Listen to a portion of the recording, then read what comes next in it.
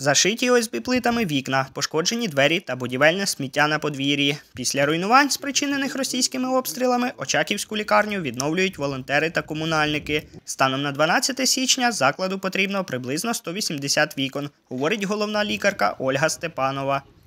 Наша лікарня попала під обстріл, і ми отримали руйнування. Споруди були в нас не зруйновані, але в нас е, дуже багато зруйнованих вікон. Приїжджали дві організації, три організації з Миколаєва, е, будів- будівельні організації, які мають е, опит уже в цій роботі. На допомогу закладу також приїхала команда Добробату. Волонтер Володимир задіяний в роботі організації вже півтора місяці. Дізнався про неї випадково з інтернету. Говорить, це його перший будівельний досвід.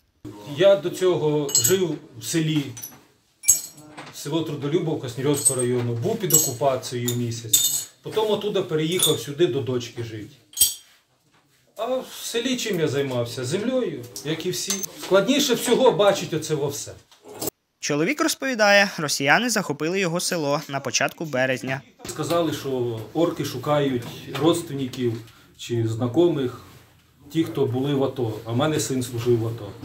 І я просто зібрався, узнав, куди можна проїхати І все. І полями ми виїхали на Ніколаїв.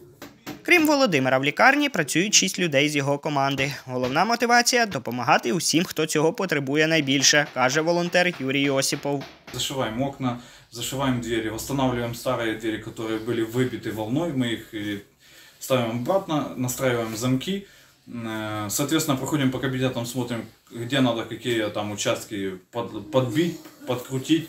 Э, Только что был на крыше, то есть э, убрали несколько там течей, то есть есть э, осколки у меня, кстати, есть видео. Э, Там осколок зашел, то есть просто небольшая дырка, так скажем, ну, где-то за неделю она просто даст, ну, то есть серьезные проблемы. Будівельними матеріалами з добробатівцями поділилися працівники Червоного Христа, які також були задіяні у відновленні лікарні.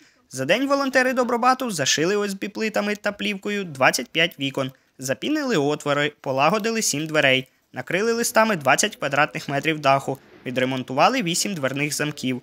Та роботи ще вдосталь, кажуть будівельники, тому в планах і надалі допомагати Очаківській лікарні та відновлювати Миколаївщину. Назарій Рубаняк, Суспільне новини, Миколаївщина.